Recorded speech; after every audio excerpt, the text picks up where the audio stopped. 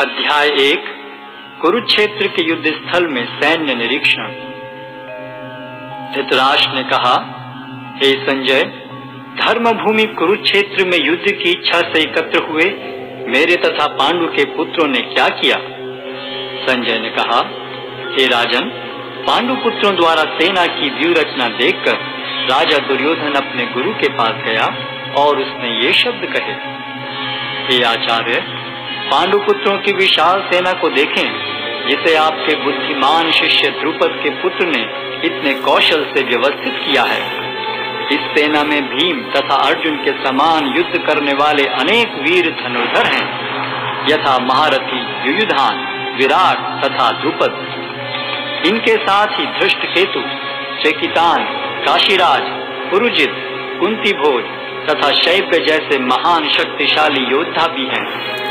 पराक्रमी युधामन्यु, अत्यंत शक्तिशाली उत्तम औजा, सुभद्रा का पुत्र तथा द्रौपदी के पुत्र, ये सभी महारथी हैं किंतु हे ब्राह्मण श्रेष्ठ, आपकी सूचना के लिए मैं अपनी सेना के उन नायकों के विषय में बताना चाहूँगा, जो मेरी सेना को संचालित करने में विशेष रूप से निपुण हैं।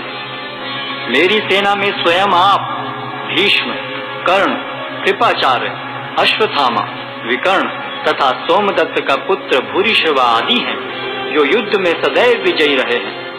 ऐसे अनेक वीर भी हैं, जो मेरे लिए अपना जीवन त्याग करने के लिए उद्यत हैं। वे विविध प्रकार के हथियारों से सुसज्जित हैं और युद्ध विद्या में निपुण हैं। हमारी शक्ति अपरिमेय है और हम सब पिता पितामह द्वारा भली भांति संरक्षित हैं, जबकि पांडवों की शक्ति भीम द्वारा भली भांति संरक्षित होकर भी सीमित है।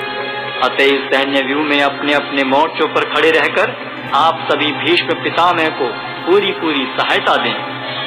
तब कुरुवंश के वयोवृद्ध परम प्रतापी एवं वृद्ध पितामह ने सिंह गर्जन किसी ध्वनि करने वाले अपने शंख को उच्च स्वर में बजाया, जिससे दुर्योधन को हर्ष हुआ।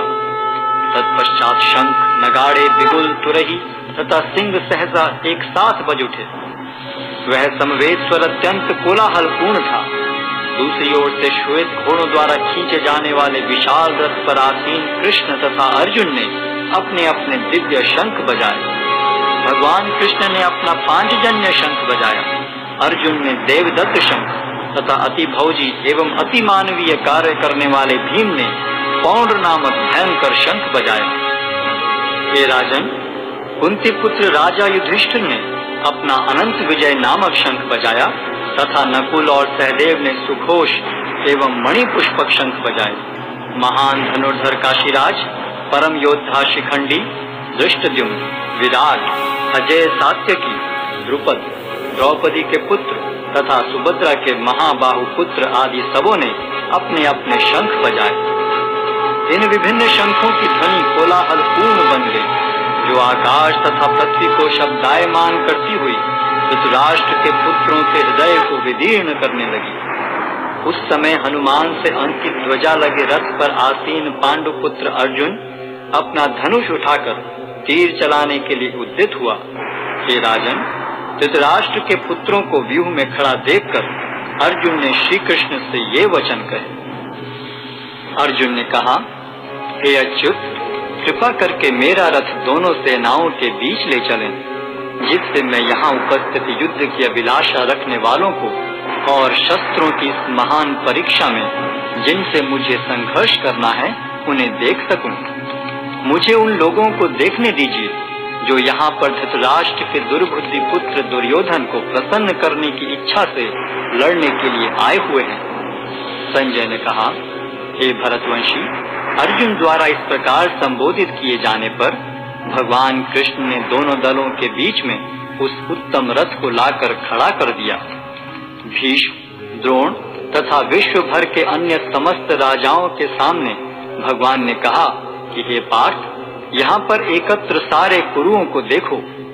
अर्जुन ने वहाँ पर दोनों पक्षों की सेनाओं के मध्य में अपने चाचा ताऊओं, पितामहों, गुरुओं, मामाओं, भाइयों पुत्रों, पौत्रों, मित्रों, ससुरों और शुभ चिंतकों को भी देखा। जब कुंती पुत्र अर्जुन ने मित्रों तथा संबंधियों की इन विभिन्न श्रेणियों को देखा तो वह करुणा से अभिभूत हो गया और इस प्रकार बोला। अर्जुन ने कहा, हे कृष्ण, इस प्रकार युद्ध की इच्छा रखने वाले अपने मित्रों तथा संबंधियों को अपने समक्ष उपस्थित देखकर मेरे शरीर के अंग काँप रहे हैं। और मेरा मुख सूखा जा रहा है। मेरा सारा शरीर काँप रहा है। मेरे रोंगटे खड़े हो रहे हैं। मेरा गांडी धनुष मेरे हाथ से सरक रहा है और मेरी त्वचा जल रही है। मैं यहाँ और अधिक खड़ा रहने में असमर्थ हूँ। मैं अपने को भूल रहा हूँ और मेरा सिर चकरा रहा है। हे कृष्ण, मुझे तो केवल अमंगल के कारण दिख रहे हैं। हे कृष्ण इस युद्ध में अपने ही स्वजनों का वध करने से न तो मुझे कोई अच्छाई दिखती है और न मैं उससे किसी प्रकार की विजय, राज्य या सुख की इच्छा रखता हूँ। हे गोविंद, हमें राज्य, सुख अथवा इस जीवन से क्या लाभ? क्योंकि जिन सारे लोगों के लिए हम उन्हें चाहते हैं, वे ही इस युद्ध भूमि में खड़े हैं। हे मधुसूदन, जब गुरुजन, पितृगण, पुत्रगण, पितामह, मामा ससुर, पौत्रगण, साले तथा अन्य सारे संबंधी अपना अपना धन एवं प्राण देने के लिए तत्पर हैं और मेरे समक्ष खड़े हैं तो फिर मैं इन सबको क्यों मारना चाहूँगा? भले ही वे मुझे क्यों न मार डालें। हे जीवों के पालक, मैं इन सबों से लड़ने को तैयार नहीं। भले ही बदले में मुझे तीनों लोग क्यों न मिलते हों, इस पृथ्वी की तो बात ही छोड़ दें। भला धृतराष्ट्र के पुत्रों को मारकर हमें कौन सी प्रसन्नता मिलेगी? यदि हम ऐसे आतताइयों का वध करते हैं तो हम पर पाप चढ़ेगा।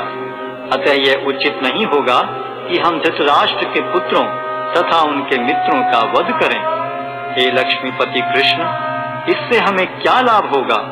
और अपने ही कुटुंबियों को मारकर हम किस प्रकार सुखी हो सकते हैं?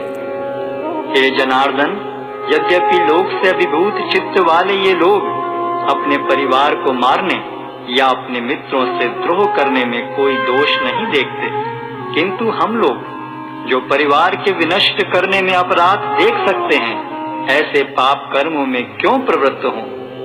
कुल का नाश होने पर सनातन कुल परंपरा नष्ट हो जाती है, और इस तरह शेष कुल भी अधर्म में प्रवृत्त हो जाता है।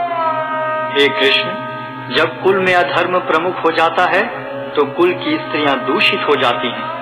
और स्त्रित्व के पतन से हे वृष्णिवंशी, अवांछित संतानें उत्पन्न होती हैं।